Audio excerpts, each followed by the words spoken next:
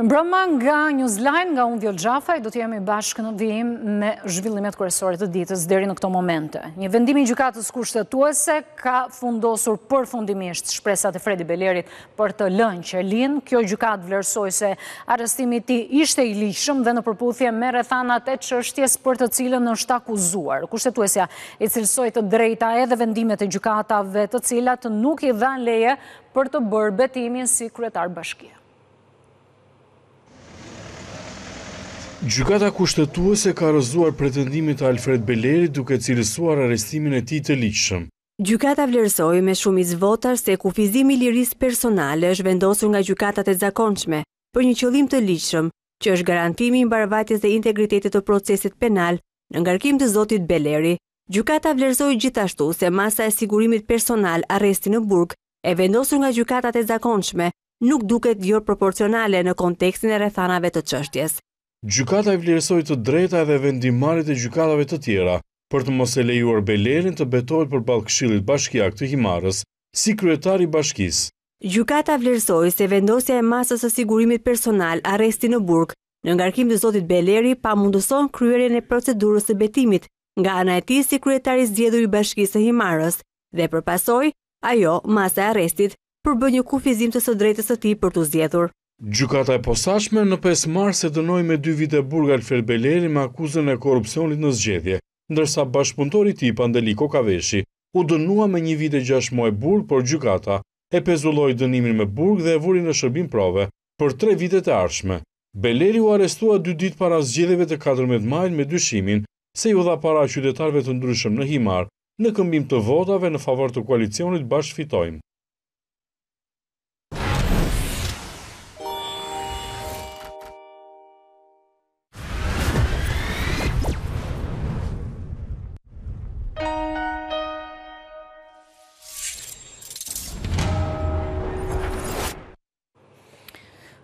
Greqia nuk do të ketë më mundësinë e vendosjes së vetos ndaj Shqipërisë për procesin e integrimit europian. Komisioni ka miratuar planin e reformave para zgjerimit të bllokut, duke mos i lejuar më vendet anëtare që të bëhen pengesë për anëtarësimet e reja. Me propozimin që ka ardhur nga Von der Leyen, vendeve anëtare u hiqet unanimiteti në votim për pranimin e shteteve të reja, duke i zëvendësuar ato me votim me shumicë të cilësuar. Komisioni Evropian heq veton e vendeve anëtare, shtetet evropiane u pajtuan që Unioni të reformohet në mënyrë që të jetë i gatshëm për zgjerimin e radhës përfshirë në aspektin politik, ligjor dhe financiar. Brukseli propozoi heqjen e unanimitetit që pengon vendimet mbi politikën e jashtme për të shmangur bllokimet e ardhshme nga shtetet anëtare për çështje dypalëshe. Në këtë mënyrë pranimi i shteteve të Ballkanit Perëndimor dhe jo vetëm, zëvendësohet me votimin me shumicë të cilësuar. Kjo vendimmarrje do të japë zgjedhje edhe pengesave që ka Shqipëria me Greqinë. Kjo e fundit tashmë nuk mund të përdorë veton e saj për të penguar integrimin e Shqipërisë. Athina zyrtare ka kërcënuar shpeshherë vendin tonë se do e bllokojë atë në rast se nuk liron Fredi Belerin. Po ashtu, ky plan do të parandalojë edhe Hungarinë, të bllokojë sërish buxhetin financiar. Pas miratimit të Komisionit Evropian për reformat e brendshme të Bashkimit Evropian para zgjerimit, do të diskutohet edhe në Këshill nga vendet anëtare. Do të qëndrojmë te kjo çështje më gjerësisht, në studio më është bashkuar zoti Ledion Krisafi, ekspert i marrëdhënieve ndërkombëtare. Kënaqësi t'ju kemi dhe njëherë në studio. Për t'u ndalur te dokumenti dhe te propozimi që ka ardhur nga Komisioni Europian, për ta nisur me radhë, fillimisht kërkohet një reformim i brendshëm i Bashkimit Europian, pra edhe vetë BE-ja të jetë gati në momentin që do të presë vendet e reja, një proces që duhet të ecë paralel edhe me përgatitjen e vendeve kandidate. Çfarë kërkon ky proces dhe e vonon anëtarësimin e vendeve kandidate ose si ndikon te anëtarësimi i vendeve kandidate? Gjithmonë te afatet na intereson më shumë. Pak a shumë kemi shkuar tek ideja e francezëve që kanë edhe para Macronit ata kishin shumë vite që kërkonin një lloj reformimi të të Bashkimit Europian dhe thelbi i kërkesës së Macronit dhe francezëve dhe që ishte edhe në dokumentin e paraqitur Është një Bashkim Europian me 35-36 vende, nuk mund të funksionojë njëlloj siç funksiononte me 25 apo 27 që funksionon sot. Vetëm Komisioni Europian për shembull do të duhet të ketë 35 komisionerë për shembull, që që e bën të pamundur funksionimin në në në tërësi të komisionit. Dhe ajo që Macron dhe francezët kërkonin ishte një reformimi i Bashkimit Europian që të bëhej më, më i thjeshtë në një farë mënyrë dhe më i lehtë për të absorbuar, për të përthithur anëtarë të rinj dhe për të funksionuar njëlloj siç funksiononte më parë. Dhe është me të gjitha është një çështje funksionimi, pra është një gjë që bëhet më e madhe, por që do duhet të funksionojë njëlloj siç ishte kur ishte edhe më e vogël më, më parë. Në përgjithësi nuk mund të themi që e ngadalëson procesin, se procesi në tërësi është vetë i ngadaltë, pra ka shumë vite që procesi është i ngadaltë, le të themi në njëfarë mënyre dhe Francezët kishin kohë, sidomos Makroni kishte vite, që mundohej ta copëzonte procesin në njëfarë mënyre. Për shembull procesi kur u futën Polonia, Çekia, po dhe kur u fut Bullgaria, Rumania, ka qenë shumë i thjeshtë. Qoftë se do të ishin të njëjtat kritere sot, jam i sigurt që as Bullgaria as Rumania nuk do futej në Bashkimin Europian. Dhe një gjë shumë interesante e e dokumentit të paraqitur, ishte fakti që secili vend do të, do të llogaritet veçmas, pra sepse shpesh herë flitet që mund, gjithë Ballkani Perëndimor mund të jetë në, në bllok në Bashkimin Europian, bashkë me Ukrainën dhe Moldavinë, aty ishte shumë e qartë që secili do të gjykohet veçmas nga, nga në bazë të performancës, në po. bazë të performancës, dhe diçka tjetër shumë e rëndësishme që ne kemi thënë shpesh herë që në fund të fundit kemi përsëritur mund të jetë një vendim politik, me kuptimin që Pas gjashtë, shtatë apo dhjetë vitesh, ndoshta asnjë prej vendeve nuk do të jetë gati dhe Bashkimi Europian do të marrë një vendim politik, do të thotë që ju mund të futeni në Bashkimin Europian për shkak të situatës gjeopolitike, kërcënimi nga Rusia etj. Në dokument është shumë e qartë që me standardet dhe kriteret e Kopenhagenit nuk ka asnjë lloj kompromisi, asnjë lloj diskutimi. Pra secili vend do të jetë gati për në bazë të standardeve që ka Bashkimi Europian për të qenë pjesë e Bashkimit Europian. Pra kjo ishte një gjë që ishte shumë e theksuar, disa herë e theksuar në në dokument. Por thashë është një proces që mund ta ngadalësojë në tërësi procesin, por kjo varet nga vendet, sepse mënyra se si është ndërtuar, që përmend edhe në dhe në dokument metodologjia është e tillë që më përpara para disa vitesh nëse një shtet miratonte një ligj, le të themi në në në letër, supozoj që ky ligj ishte në rregull dhe ishte i përbashkuar, përafruar me atë të Bashkimit Europian. Ajo që ka kërkuar Makroni para disa viteve dhe që është bërë ligj, është bërë rregull tashmë le të themi, është që nuk mjafton ta miratosh ligjin në në letër, nuk mjafton të thuash që jemi kemi të njëjtin ligj si Bashkimi Europian, por duhet të vërtetosh që e ke po e zbaton ashtu siç është standardi i Bashkimit Europian. Dhe kjo është ajo që mund ta ngadalësojë procesin, sepse secili vend duhet të vërtetojë në praktikë që po bën, po zbaton ato ligje që ka miratuar. Meqë fole për fragmentarizim të procesit, sa i mundshëm do të ishte integrimi i Shqipërisë si anëtare e asociuar, pra me të drejta të kufizuara në aspektin politik, por të drejta full membership, përsa i përket të drejtave punësimi, arsimimi, jetesa ndoshta në bashkimin e Europian? Në dokument përmendet disa herë një integrim, le të themi pjesë pjesë i vendeve që janë për t'u anëtarësuar në Bashkimin Europian, nuk mendoj se ka lidhje tërësisht me faktin që Ky lloj integrimi pjesë pjesë mund të bëjë që Shqipëria, për shembull, ose shqiptarët të punojnë ose të lëvizin lirisht, të jenë pjesë e Schengen, le të themi, ose të kenë detyrime të caktuara, dhe në dokument kishte disa dyshime rreth rreth këtij lloj anëtarësimi pjesë pjesë. Për shembull, një prej paragrafëve që që më tërhoqi vëmendjen ishte që nëse vendet si Shqipëria ose vendet e Ballkanit Perëndimor bëhen pjesë pjesë pjesë e tregut të përbashkët europian, a do thotë kjo gjë që kanë detyrime, për shembull, do të paguajnë edhe detyrime në në pjesë në institucion si shtetet europiane, pra kishte një lloj dyshimi dhe në dokument. Dhe ideja është e tillë që ndoshta vendet e Ballkanit Perëndimor, bashkë me Ukrainën dhe Moldavinë, duke qenë se nuk janë gati për të qenë pjesë e Bashkimit Europian, dhe që unë mendoj se Bashkimi Europian vetë është pesimist që këto vende mund të jenë gati për 6, 7 apo 8 vite, sepse ka një hendek shumë të madh mes, mes vendeve, qoftë politik, qoftë ekonomik, qoftë për nivelin e jetesës e të tjerë, dhe duke i vendosur hap pas hapi, duke i bërë hap pas hapi pjesë të të të Bashkimit Evropian është një lloj si të jesh në tavolinë, por mos kesh të drejtë vote. Pra ti je pjesëmarrës, je ti je pjesëmarrës sepse sot nuk kemi as pjesëmarrë, dhe nuk jemi në tavolinë. Po pra, pa të drejta politike, po. Jemi vëzhgues nga jashtë, thua është asaj që po. duke ndodhur dhe thelbi i asaj që kërkon ndryshimi i tillë është që këto vende të bëhen hap pas hapi, është një lloj integrimi gradual që dhe kjo është ide franceze, ishin ishin ide e Macronit prej vitesh, duke qenë që varet pikërisht nga pesimizmi që kanë Bashkimi Evropian, që hendeku mes Ballkanit Perëndimor dhe Bashkimit Evropian, pas gjithë këtij procesi të gjatë prej shumë vitesh që ë që po vazhdon integrimi evropian, prap hendeku është shumë i madh. Pra këto vende duhet të kenë, duhet të jenë pjesë-pjesë dhe unë nuk mendoj që kjo lidhet me gjëra kaq të mëdha. Pra nuk është kaq e thjeshtë. Çfarë është integrimi gradual atëherë? mund të bëhesh pjesë e tregut të përbashkët vetëm disa gjëra. Për shembull, tregu i përbashkët evropian është një treg goxha i kontrolluar, duhet të them. Për shembull, të jap një shembull që një e katërta e gjithë subvencioneve që të bujqësisë në Bashkimin Evropian shkojnë në Francë. Dhe mënyra ajo çfarë secili vend ose kuota secili vend tregton brenda tregut të përbashkët është e përcaktuar. Edhe vendet që janë brenda Bashkimit Evropian, edhe vendet që janë jashtë si Shqipëria kanë një kuotë të caktuar. Ajo që mund të ndryshojë në këtë rast është që kuota e Shqipërisë mund të rritet. Mund të bëhet njëlloj siç është e një vendi të Bashkimit Evropian. Dhe kjo është një ndryshim, le të themi, është një lloj integrimi gradual në tregun e përbashkët dhe në në në instanca të tjera. Pra kjo është mënyra si mund të bëhet avash avash, le të themi, dalëngadalë. Kristafi, një nga pikat që na intereson më shumë këtu është patjetër propozimi që ka ardhur nga Komisioni Evropian që në procesin e miratimit të vendimeve të Këshillit të kalohet nga votimi me konsensus në miratimin e vendeve me shumicë të kualifikuar. Do të thotë kjo heqje e vetos? Për këtë gjë duhet të jemi të kujdesshëm, nuk duhet të dalim në përfundime para kohe. Në dokument kishte vetëm dy paragrafe që lidheshin me me këtë çështje. Dhe paragrafet ishin në një gjuhë le të themi goxha të ndërlikuar, pra kanë nevojë për një interpretim goxha juridik në për të dalë në përfundimin e tyre. Me atë që unë kuptova, kjo lidhet heqja e vetos dhe heqja e unanimitetit lidhet me vendimet për politikën e jashtme dhe sigurisë të Bashkimit Europian. Zgjerimi nuk është pjesë e politikës së jashtme dhe sigurisë së Bashkimit Evropian, është një çështje tjetër. Dhe kjo lidhet me çështje si ndihma për Ukrainën, migracioni, refugjatët e të tjerë, gjë që çështje të cilat në të kaluarën dhe kemi parë 2-3 vitet e fundit kanë penguar prej kohësh Bashkimin Evropian për të arritur një marrëveshje. Për shembull, deri para pak kohësh ishte Hungaria që ndalonte dërgimin e një pakete rreth 50 miliardë eurosh për për Ukrainën. Para disa vitesh ishte gjithashtu vendet e bllokut lindor, Polonia, Çekia, Sllovakia dhe Hungaria, të cilat bllokuan një marrëveshje për emigrantët.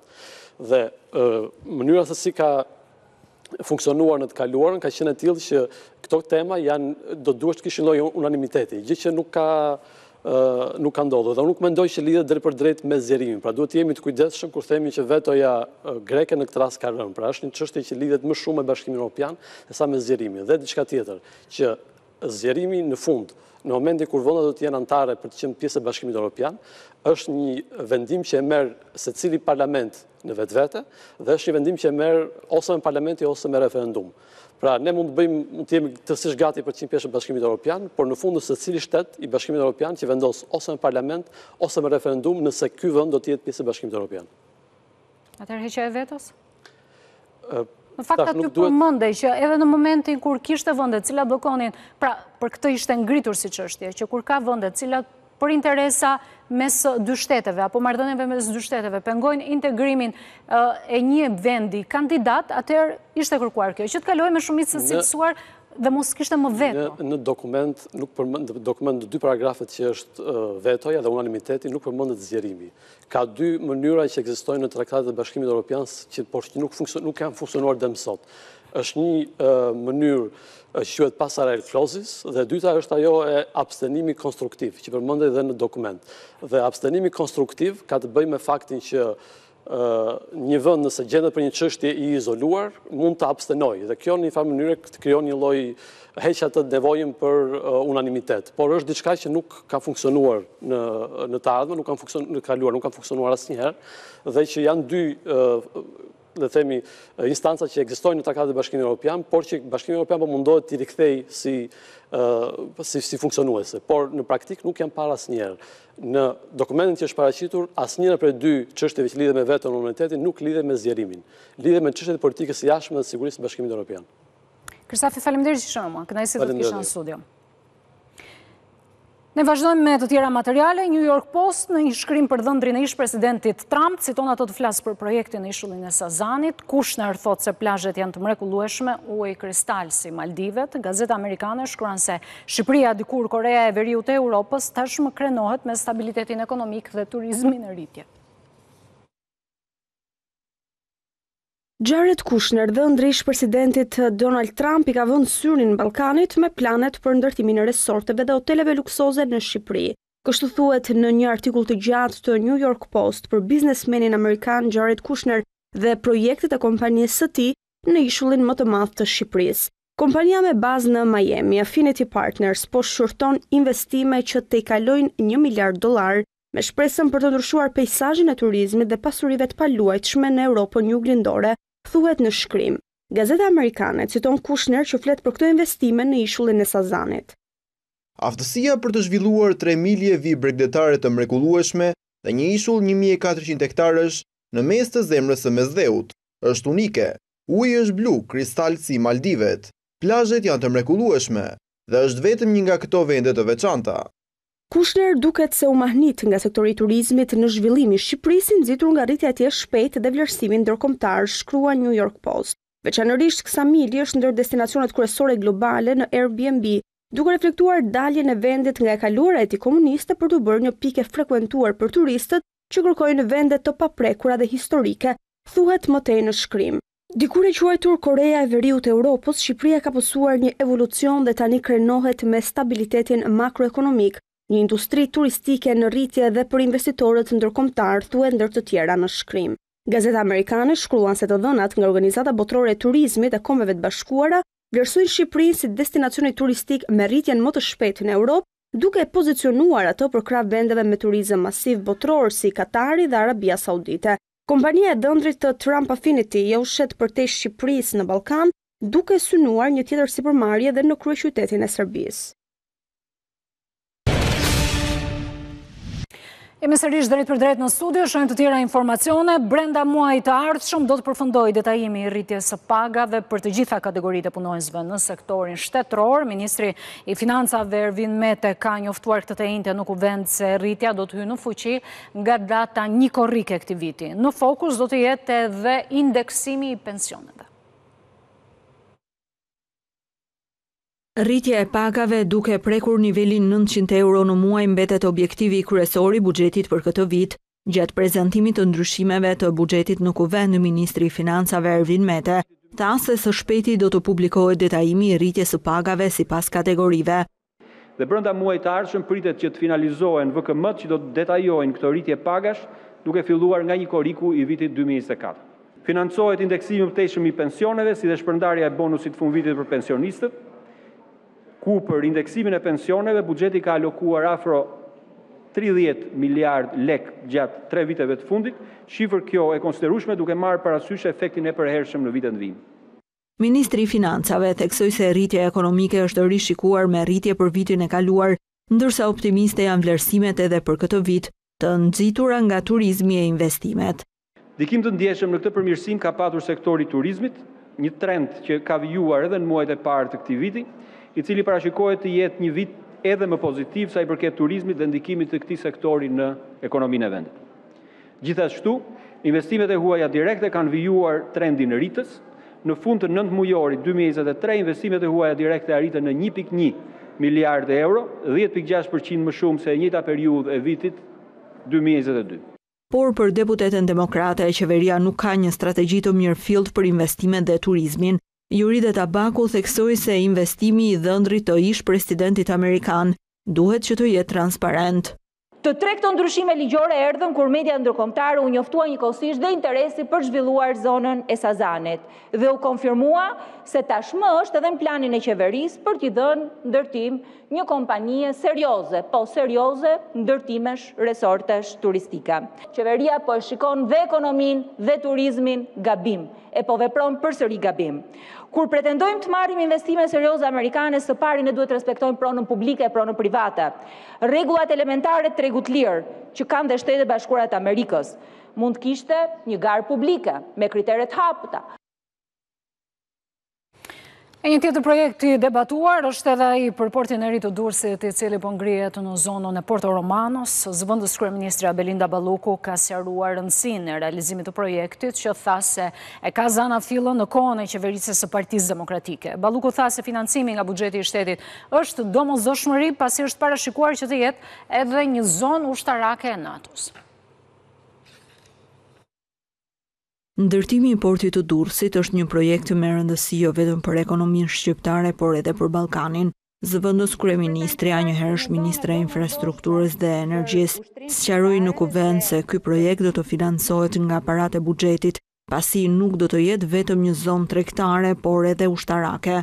Është prezantuar si një zonë e domosdoshme për ushtrinë shqiptare dhe për të gjithë partnerët dhe aleatët e NATO-s dhe ka nisur nga puna dhe ju këtë duhet ta dini që në këtë paketën prej 390 milion eurosh, e cila do të shërbejë për ngritjen e strukturës bazike, 175 milion janë të dedikuara për punime në infrastrukturë detare parësore, ku ka të bëjë me kanalin hyrës, ka të bëjë me basenin, sigurisht edhe me dallgëthyesin. Që nuk do t'i shërbejnë vetëm portit tregtar, po do t'i shërbejnë edhe portit militar që do ngrihet në zonë. Zëvendës kryeministrja theksoi se ky projekt është transparent, pasi është realizuar përmes garave ndërkombëtare, Ky është projekti më transparent dhe më i detajuar që Republika e Shqipërisë ka bërë në historinë e pluralizmit, pasi gjithçka, çdo hap, nga studimi i fizibilitetit, tek projekti i detajuar dhe gjithçka tjetër janë bërë përmes garave ndërkombëtare. Dhe këtu nuk bëhet fjalë për mbylljen e një porti dhe hapjen e një porti tjetër, por këtu bëhet fjalë për dy porte. një port turistik që do të jetë ai që sot është porti tregtar dhe një port tregtar dhe militar në zonën e Porto Romanos. Porti i Durrësit vlerësohet si një ndër projektet më të mëdha për të gjithë Ballkanin, pasi do të lidhet me portin e thatë në Strugë për t'i shërbyer Maqedonisë së Veriut dhe me portin që do të ndërtohet në Prishtinë për t'i shërbyer Kosovës. Parlamenti është rikthyer normalitetit ditën e sotme, për herë të parë pas rreth 6 muajsh është zhvilluar një seancë e qetë, pa tymuese dhe pa bilbila në sallë. Lulzim Basha, kundërshtues i marrëveshjes, zaptoi foltoren e kuvendit, por u përjashtua më pas nga seanca. Pas dakordësisë së arritur mes Partisë Socialiste dhe rithemelimit, pritet të miratohet edhe ngritja e dy komisioneve hetimore të kërkuara nga deputetët e Berishës. Pas marrëveshjes, në Kuvend u rikthye paqja. Në orën e caktuar, deputetët hynë qetësisht në sallë, për të marrë pjesë në një seancë që do të ishte normale, siç nuk ndodhte prej gati gjashtë muajsh. Seanca nisi punën sipas rendit të ditës, për kaosin, rithemelimi ia la vendin Lulzim Bashës. Ai u kthye në protagonist të seancës së parë, pas pajtimit të socialistëve me berishistët, duke zgjedhur të bllokojë foltore. Veprimi i kushtoi përjashtimin nga seanca. Ju lutem ju, ju kërkoj edhe një herë të lironi foltoren. Atëherë jeni i përjashtuar nga seanca për zaptim foltore. Ju e dini rregullat e qarta të rregullore së Kuvendit. Para se Basha të linte sallën, Tonet mes PD së Bashës dhe PS-së u ngritën për reformën zgjedhore, komisionit të së cilës i përfundoi mandati këtë të enjte. Basha akuzoi rithemelimin dhe mazhorancën për pazare.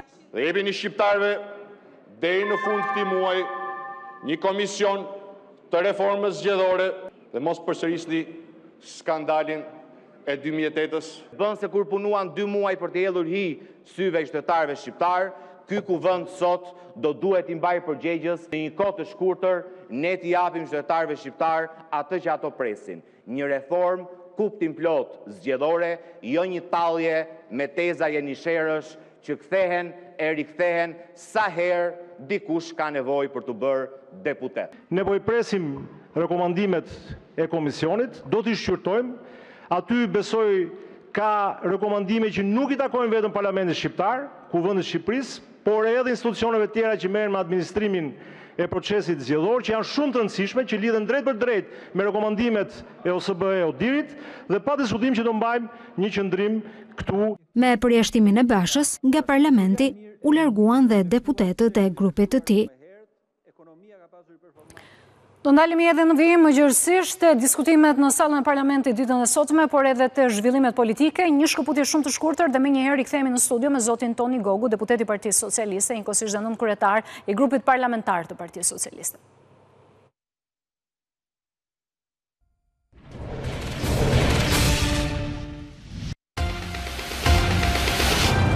kthyer drejtpërdrejt në studio, sikundër e anonçova, do të kemi në një lidhje të drejtpërdrejtë nga salla e parlamentit, deputetin e Partisë Socialiste, njëkohësisht edhe nënkryetarin e grupit parlamentar socialist, zotin Toni Gogu, për të folur qoftë për atë se çfarë ndodhi në sallën e parlamentit ditën e sotme, por edhe për punime të tjera të komisioneve kuvendore. Mirëmbrëma, zoti Gogu. Mirëmbrëma, faleminderit për ftesën. Kënaqësi t'ju kemi në këtë lidhje me studion. Fillimisht do doja të pyesja se si ishte rikthimi në një seancë normale, munguan tymueset, munguan bilbilat, si ishte atmosfera, po të riktheheshe në normalitet në bërjen e punës, edhe pse në fakt jua prishi Basha pak qetësinë. Ajo çfarë pamë sot është që një pjesë e kolegëve me sa duket paska lakmuar atë bllokimin e foltores, sepse ju e shikoni që një, kur njëra gjysmë e opozitës vjen në vete dhe vjen dhe i kthehet debatit parlamentar, gjysma tjetër zgjedh që të zaptojë foltoren. Megjithatë, duhet thënë që sot është një ditë e mirë për Parlamentin shqiptar, sepse jemi rikthyer të vetmit instrument parlamentar që është debati. është debati konstruktiv dhe këtë e tregon që u kaluan 7 orë të tëra për të debatuar aktin normativ.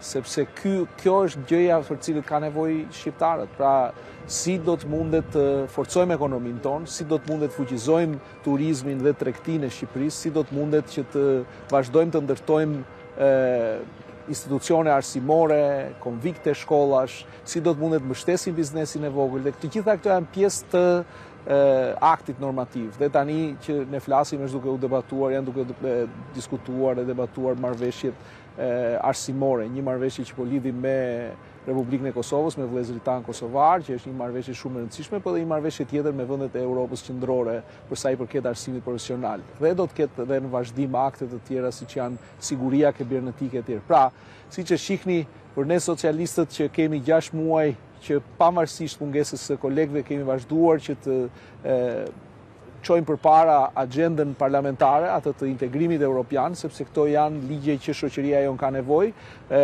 mungesa e tyre patjetër që e, Mund të themi që është ndier në këtë debat, sepse debati në një farë mënyrë ndihmon, por po ta shikosh nga ana tjetër, nuk është që në debatin e tyre ka ndonjë propozim konkret për të përmirësuar gjërat. Ju e shikoni që ata janë të interesuar për agjendat e tyre personale. Në fund të ditës ka një garë midis dy copëzave të opozitës kush do jetë cili do jetë i dyti, kush do zërë vëndin e dytë. sepse është e qartë fare edhe nga sondazhet e fundit se cilët besojnë shqiptarët. Do ndalemi dhe te kjo, nëse janë shumicë ose jo, ky grupi i pak zhurmës ditën e sotme në parlament për ta kujtuar ka qenë ai grupi që nuk vinte në sallë pikërisht për këtë, kërkonte qetësi. Te Basha, ju në fjalën tuaj sot në sallën e parlamentit i thatë që ju nuk jeni shumicë, një e dhjeta nuk është shumicë. Atëherë, pse u zgjat kaq shumë kjo dhe nuk u zgjidh që në fillim çështja, për sa i përket Komisionit të Reformës Zgjedhore, dhe ndoshta do të ishte prodhuar diçka deri në këto momente. Afati i tij përfundoi ditën e sotme. Në vijim çfarë ndodh? Duke qenë se jeni dhe anëtar i komisionit. Sepse ne nuk zgjedh sepse ne nuk zgjedhim dhe nuk ndërhyjmë në atë luftën midis gjysmagjelave. Ajo çfarë ne socialistët bëjmë është që qëndrojmë besnikë aty në tryezën parlamentare dhe kushdo që vjen përballë dhe vjen me alternativa, ne i diskutojmë, i debatojmë dhe i miratojmë, i fusim për miratim. Kështu që ajo çfarë unë ndërhyrja ime sot ishte për shkak se zoti Basha mori përsipër të fliste për 90% të shqiptarëve. Pra tha nuk mund të flitet tha për 9 të 10-at. dhe vërtet pata një mesaj nga, nga, nga mësuesja e aritmetikës, mësuesja e fillores, që më, më kujtoi që nuk mundet të flasë, pra një e dhjeta është 10%, nëntë të dhjetat janë 90%, s'mundet 10% që të flasë për 90%. Kjo ishte gjëja, po kam përshtypjen që me numrat, zoti po ju e patë se si u kompleksua pastaj dhe u detyrua që edhe të, të gabonte. duke zaptuar, duke zaptuar foltoren. Kështu që besoj që do të në ditët në vijim edhe edhe zoti Basha do të kuptojë që nuk është ajo mënyra e duhur, por është tërësisht dialogu, është bashkëpunimi, është konsensusi, kështu që duhet të rikthehen patjetër me propozime alternative. Nuk mundet ta akuzojnë duke thënë që ne e sollëm dhe pse s'e bëtë ju ligj. Jo, nuk funksionon kështu. Ti sjell propozime dhe ti pret të dëgjosh nga kolegët e tu mbrapsht se çfarë mendojnë për ato propozime dhe nëse kanë propozime të tjera. Ky është debati parlamentar. Dhe kur do të ketë një përfundim, po themi, përsa i përket Komisionit të Reformës Zgjedhore? Do ketë një produkt përfundimtar? Komisioni, komisioni i posaçëm do të ketë ato, do të patjetër që do hartojë raportin e vet, besoj që duket qartë nga, nga retorika e zotit Alibeaj, sot që nuk do të, ketë, nuk do të jetë raport konsensual, kështu që ne do të shkojmë në, Do të vazhdojmë në komisionet e përhershme dhe do t'i dëgjojmë aty, do të sigurohemi që ata t'i sjellin aty propozimet e tyre dhe do t'i diskutojmë në komisionin ligjor, në atë grup pune që do ngrihet në komisionin ligjor që do shqyrtojë propozimet e të gjitha palëve. Po ju bëj një pyetje konkrete. Në vitin 2025 do të votojnë apo jo emigrantët? Në rrjetet sociale ka nisur edhe një nismë në fakt me uh, hashtagun dua të votoj në 2025. Nga ana e emigrantëve dhe përfaqësuesve të diasporës. Për ne social për për ne për ne socialistët patjetër ne kemi dalë me një propozim konkret se si mundet të realizohet ajo gjë sepse çështja është teknike e, për shkak se ajo është një e drejtë kushtetuese pra ne jemi siguruar që ajo të jetë në kushtetutë e, tani duhet të zbatohet që të zbatohet duhen gjetur zgjidhjet teknike te zgjidhjet teknike ne socialistët kemi sjellë propozimet tona që janë propozime që janë të e, pra e, financiarisht të bëshme e, logjistikisht të bëshme e, dhe ligjërisht shumë të thjeshta Mirë, Zoti Gogu, për sa i përket të dy komisioneve hetimore të cilat iu dhanë opozitës, çfarë afatesh kanë dhe kur pritet që të fillojnë nga puna? është ndarë kjo çështje?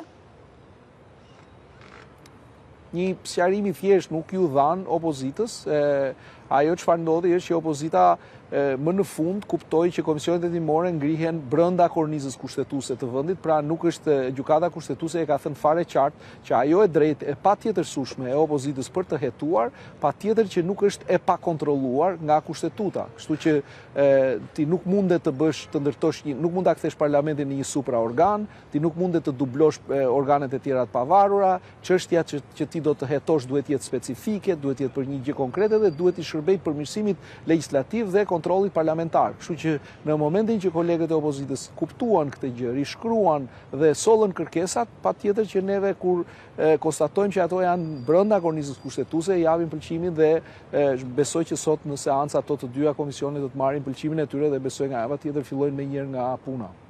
Ka kërkesa konkrete për sa i përket, ose ndonjë detaj i cili mund të ishte interesant dhe nga kërkesa që ka paraqitur grupi i Rithemelimit? Duhet të njihem me materialet. Duhet të njihem me materialet. Ende nuk nuk e kam parë materialin, duhet të njihem. Dhe e kam fjalën për komisionin e hetimit të veprimtarisë të të menaxhimit të, të kufijve. Pra të TIMS-it, sistemi TIMS. Keni dhe amnistinë, po. Keni dhe amnistinë penale ndërkohë, duke qenë se ju jeni dhe anëtar i Komisionit të Ligjeve për t'ju pyetur edhe për këto. Se janë të gjitha çështje të cilat kanë të bëjnë me komisione në të cilat ju jeni anëtar. Besoj që në seancën e ardhshme. Besoj që në seancën e ardhshme. Amnistia penale është një është një akt që është diskutuar gjatë, është debatuar gjatë, kolegët e opozitës kanë sjellë propozimet e tyre, besoj që do ta kalojmë në, në seancën e ardhshme. e besoj që amnistia do të marrë jetë, kështu që nuk mund të them se kur, sepse ndoshta mundet në një farë mënyre të ketë dhe një seancë të posaçme, meriton amnistia dhe një të tillë, por që kjo është detyrë e kryetarëve të komisioneve dhe kryesisë së kuvendit që e diskutojnë në konferencën e kryetarëve, për të caktuar se në cilën seancë do të diskutohet. Mirë, zoti Gogu, faleminderit që ishit me mua. Ju hoqëm nga puna në parlament për pak çaste, po kënaqësi të kishim. Faleminderit, faleminderit juve për ftesën. Kënaqësi. Ne vazhdojmë bashkë me të tjera informacione, këshilltarët e Tom Doshit në Shkodër, braktisën mbledhjen e këshillit bashkiak të enjten duke dhënë shenjën e parë të krisjes së koalicionit mes PS-së dhe PSD-së, largimi tyre soli prishën e numrave duke bërë që mbledhja të dështojë për mungesë kuorumi. Ky moment shënon krisjen e koalicionit të socialistëve me Tom Doshin në Shkodër. Janë këshilltarët e Partisë Socialdemokrate të cilët braktisën mbledhjen e Këshillit Bashkiak të enjten. Të parët që u larguan ishin këshilltarët e koalicionit Bashkë Fitojmë, të cilët kërkuan interpelancë me kryetarin e bashkisë Benet Beci për shkarkimin e disa punonjësve nga bashkia.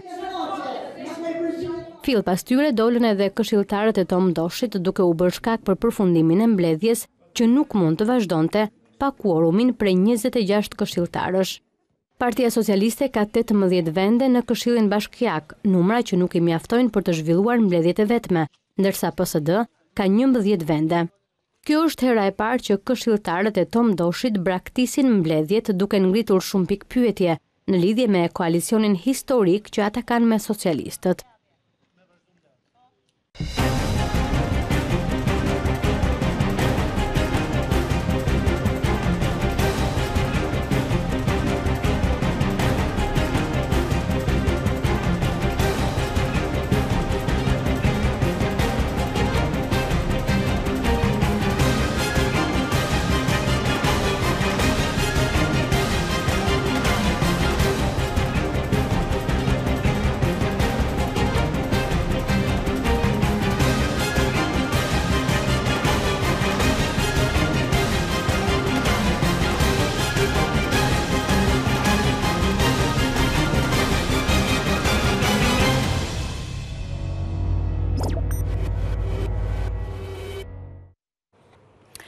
Ne i kthehemi dhe njëherë vrasjes së Gentian Bejtjes dhe hetimeve të cilat po kryhen. Deri tani ka dyshime se Ilir Beqaraj është personi i cili drejtoi mjetin me të cilin u larguan autorët e vrasjes. Pas sekuestrimit të këtij mjeti, brenda tij janë përfituar elementë të cilët po analizohen për ADN-në me shpresë se do të çojë te atentatorët. Dy të arrestuarit janë lënë në burg nga gjykata. Policia e Tiranës ka mundur që të zbardhë rolin e Ilir Beqarajt në atentatin e ndodhur pasditen e pesëmbëdhjetë marsit ku mbeti i vrarë pranë banesës së tij Gentian Bejtaj. Sipas hetimeve rezulton se i arrestuari Ilir Beqaraj, i njohur ndryshe edhe me mbiemrin Brahimi, dyshohet se ka qenë në rolin e shoferit që ka larguar autorët nga fshati Hasan, ku më parë dogjën automjetin tip Land Rover. Me hapjen e kamrave të sigurisë është rindërtuar edhe itinerari i autorëve, ku dyshohet se Ilir Beqaraj drejtonte Golfin shtata ngjyrë të zezë, ku pasi ka marrë katër autorët e dyshuar, janë larguar në drejtim të Bubqit të Krujës. Makina tip Golf shtata, e përdorur nga Ilir Beqaraj, është në pronësi të tridhjetë vjeçarit Edison Haxhiu, i cili sipas hetimeve rezulton se ka mbajtur të fshehur për disa ditë automjetin e tij. Më pas me nëntëmbëdhjetë mars, Edison Haxhiu dyshohet se ka ndërruar disqet e automjetit, që të mos binte në sy nga policia e cila ishte vënë në kërkim të këtij automjeti të dyshuar, por identifikimi i makinës është bërë nëpërmjet targave që kishin vendosur në bagazh. Pas sekuestrimit, brenda automjetit policia ka gjetur edhe disa qese të zeza që përdoren për errësimin e xhamave. Gjetja e automjetit shihet me shumë vlerë për hetuesit, ku mësohet se brenda saj janë marrë edhe profile të ADN-së. Ndërkohë nga ekspertiza ka rezultuar se në drejtim të dyzet e tre vjeçarit Bejtaj është qëlluar nga tre kallashnikovë. Mes të tjerash ABC News mëson se automjeti tip Land Rover me katër autorët e dyshuar ka ardhur nga aksi rrugor që lidh Tiranën me zonën e Larushkës, ndërsa pas atentatit është larguar drejt fshatit Hasan. Ndërkohë këtë të enjte gjykata ka lënë në burg pa afat Ilir Beqarajn dhe Edison Haxhiun. Avokati mbrojtës pretendoi se të arrestuarit nuk kanë lidhje me ngjarjen. Asnjoni nuk ka lidhje me mekanizmin e ngjarjes, me veprën penale që akuzohen. Prova që ka sjellë prokuroria është një pamje filmike, një automjeti Golf shtata, i zi, i cili është krahasues me automjetin që është pa në vend ngjarje pas djegjes së Land Roverit. Po nëse është ky automjet apo s'është ky automjet, apo është automjeti i klientit tonë, nuk arrin ta provojë prokuroria, se ne i kërkojmë prokurorisë Provë, para gjykatës, të sjellë, në formën e kërkume nga ligji, është prova e GPS-it. Për sa i përket motivit të vrasjes, hetimet janë shtrirë në konfliktet e vjetra të Gentian Bejtajt, duke mos përjashtuar edhe mundësinë se vrasja mund të jetë porositur nga persona të tjerë e autorët të jenë paguar dhe jo të kenë pasur konflikte të drejtpërdrejta me viktimën. Gjykata e Tiranës ka vendosur një vit urdhër mbrojtjeje për Leka Zogun nga ish vjerri i tij. Sipas vendimit të gjykatës, Gjergj Zaharia duhet të qëndrojë të paktën 100 metra larg nga trashëgimtari i oborrit mbretëror dhe nuk duhet të shkel në pallatin mbretëror. Në vendim, ky vendim u mor pasi avokati i Princ Lekës paraqiti në seancë ekspertizën e mjekësisë ligjore, sipas së cilës në trupin e tij ka shenja dhune fizike.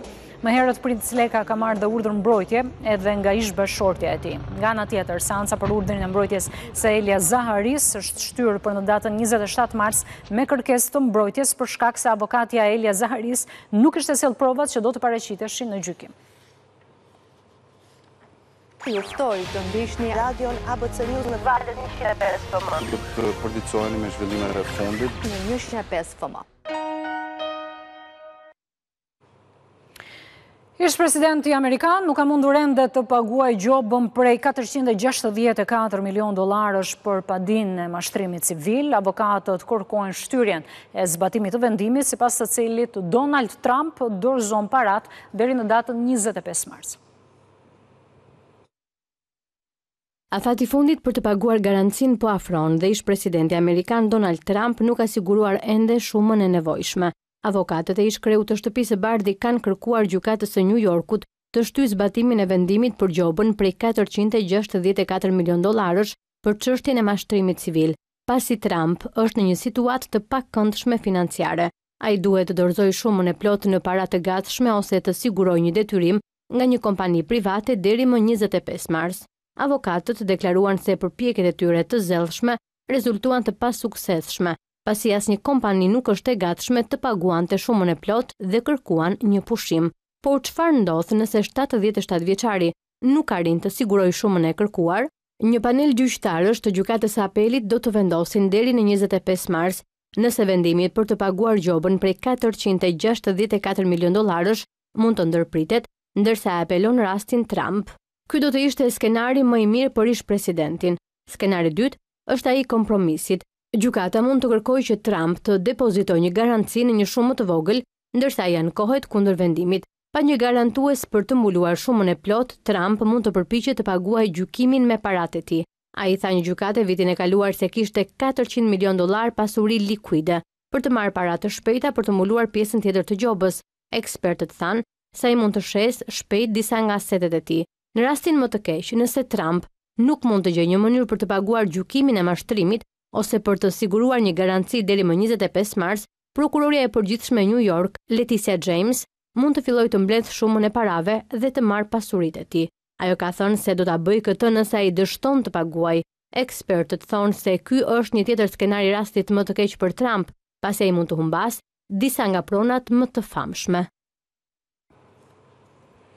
Edhe për sot ishte gjithçka në abcnews.al, klikoni për të tjera informacione, mund të na ndiqni dhe në radio ABC në valët 105 FM. Për pak minuta në orën 18 do të jeni me Special Report dhe me kolegun Arlind Isa.